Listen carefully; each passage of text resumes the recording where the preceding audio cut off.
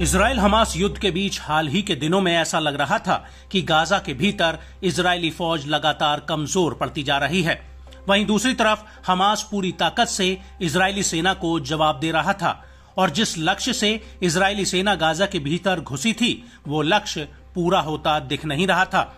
जी हाँ, गाजा में भारी तबाही मचाने के बावजूद इजरायली सेना हमास का गाजा से खात्मा नहीं कर पाई है। उल्टा हमास पूरी ताकत से इजरायली सेना के ऊपर हमले कर रहा है। लेकिन इस सब के बीच इजरायली फौज ने एक ऐसी कार्रवाई की है, जिससे पूरा हमास दहल उठा। दरअसल हमास के राजनीतिक ब्यूरो के प्रमुख इस्माइल हानिये जो निर्वासित होकर कतर की राजधानी दोहा में रह रहे हैं, लेकिन उनका परिवार गाजा में ही था, और अब इजरायली डिफेंस फोर्स ने एक हवाई हमला करके उनके तीन बेटों और तीन पोतों को मार दिया है।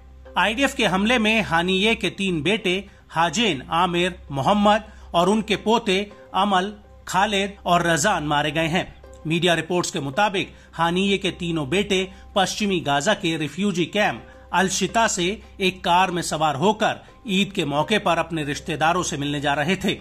लेकिन तभी उनके ऊपर आईडीएफ ने एक हवाई हमला कर दिया, जिनमें इन सभी की मौत हो गई है।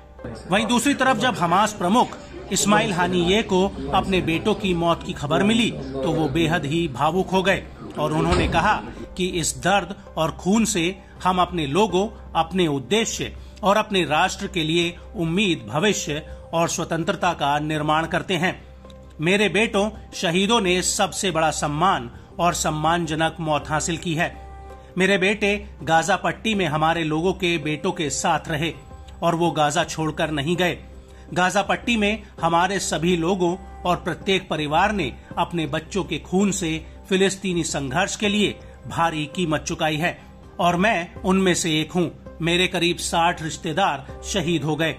उनके और अन्य फिलिस्तीनियों के बीच कोई अंतर नहीं है। इस्माइल यानी ये ने आगे कहा कि इसराइल को लगता है कि वो हमारे नेताओं के बच्चों को निशाना बनाकर हमारे लोगों की ताकत को तोड़ सकता है। हम इसराइल से कहेंगे कि इस रक्तपात से हमारे सिद्धांत और हमारी ज़मीन के प्रति हमारा जुड़ाव और ज़्यादा मज़बूत होगा।